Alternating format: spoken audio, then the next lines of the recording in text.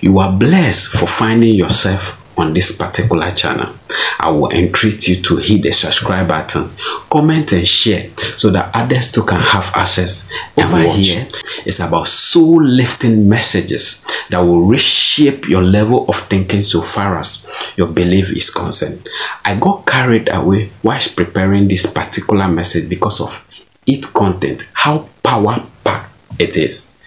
Have you ever think of it that life also have a spiritual aspect apart from the physical that we experience? Well, let's go listen to this powerful teaching by Apostle Joshua Selman that will reshape your level of thinking so far as your religion is concerned. Life is spiritual.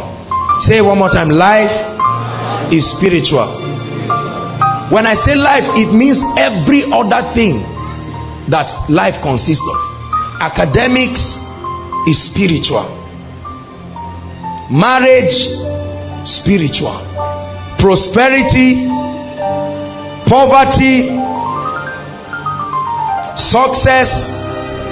When you understand the spiritual dimension of life, it automatically puts you in a position of victory so that you begin to interpret things first from the plane of the spirit before giving it any intellectual you see intellectualism has killed a lot of people. Hallelujah. There are so many families for instance that are going through things that you obviously know this is the devil. But when you tell them this is not of god they will try to give it an intellectual. You following me now? There are some of you for instance who do not believe that god put tithing to govern the prosperity of a believer's life? You don't believe it. When you see people come out to pay their tithe you just laugh. Say forget. If you work hard no devil will stop you. You really think so? One more time say after me life is spiritual. And our goal is to open you up to the realm of the spirit through the lens of the word of God. Notice notice my choice of words to open you up to the realm of the spirit through what? Because there are many ways of being open to the realm of the spirit.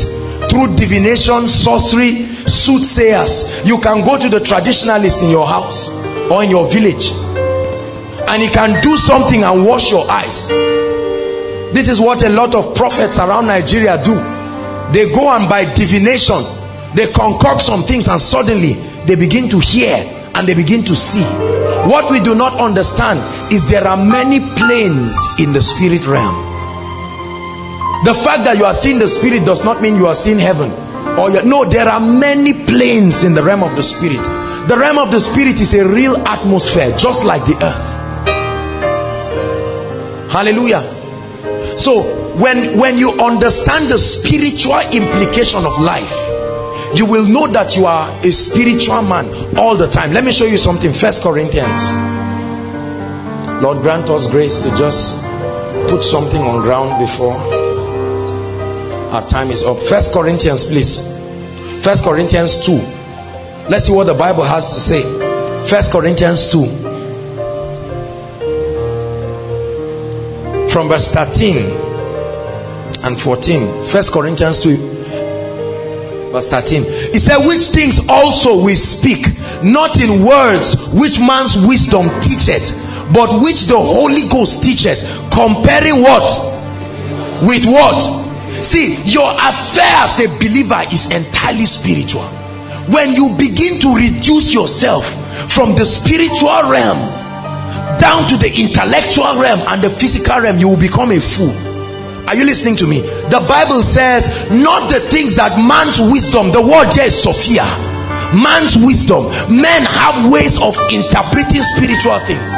Someone is convulsing and you are telling the, the person this is a demonic thing. They say no you see um, something happened. The person ate pepper and so on and so forth. The bible says not man's wisdom. This is the one that the holy ghost reveals.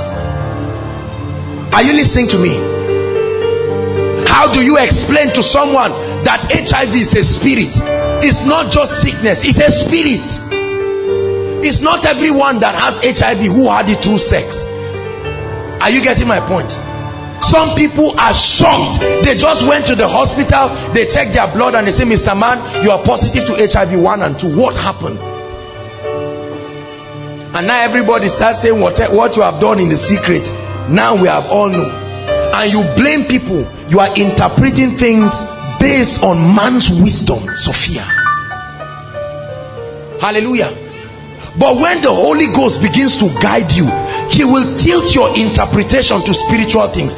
So when you see somebody annoyed at you or hates you you don't judge from the physical realm. Are you following me now? You begin to look what is making this person do this? And you will find out that this person may not even this person is reacting either to frustrations or to a need for spiritual help and you offer solution to people